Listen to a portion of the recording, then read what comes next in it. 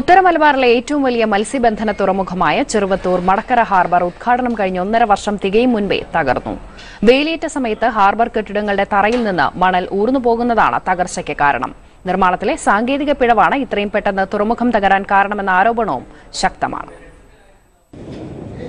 രണ്ടായിരത്തി പതിനഞ്ച് ജൂലൈയിലാണ് മടക്കര ഹാർബർ മത്സ്യബന്ധനത്തിനായി തുറന്നുകൊടുത്തത്. എന്നാൽ ഒന്നര വർഷത്തിനിപ്പുറത്തെ തുറമുഖത്തിന്റെ അവസ്ഥ കാണുക. പല ഭാഗങ്ങളും പൊട്ടിപ്പൊളിഞ്ഞ് കിടക്കുന്നു. ഇന്റർലോക്ക് കട്ടകൾക്കിടയിലെ മണ്ണ് അമർന്നു പോയതിനാൽ ചെറിയ കുഴികളാണ് നിറയെ. അഴിമുഖത്തോട് ചേർന്ന് പുഴ നികത്തിയെടുത്ത സ്ഥലത്താണ് ഹാർബർ പണിതത്. വേലിയേറ്റ വേലിയിറക്ക സമയങ്ങളിൽ തറയിലെ മണലിളകി പുഴയിൽ ചേരുന്നതാണ് ഇത്രയും പെട്ടെന്ന് ഹാർബർ തകരാനിടയാക്കിയത്. രൂപകൽപ്പനയിലെ അശാസ്ത്രീയതയാണ് ഇതിന് കാരണമെന്നാണ് ആരോപണം. ഡ്രെയിനേജ് ചെയ്ത് പുഴയിൽ ആഴം വർദ്ധിപ്പിക്കണം. അഴിമുഖത്തുനിന്ന് ഹാർബറിലേക്ക് പിടിക്കണമെങ്കിൽ ബോട്ടുകൾ കടന്നു വരാൻ വേണ്ടി കഴിയുന്നില്ല.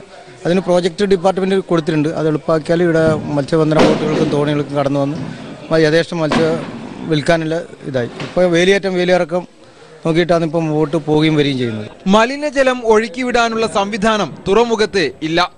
തുറമുഖത്തിനോട് ചേർന്ന് അഴിമുഖത്ത് മണൽത്തിട്ട് രൂപപ്പെട്ടതോടെ വലിയ വള്ളങ്ങൾക്ക് ഹാർബറിലേക്ക് പ്രവേശിക്കാനാവുന്നില്ലെന്നും പരാതി ഉയർന്നിട്ടുണ്ട്. മനോരമ ന്യൂസ് ചെറുവത്തൂർ.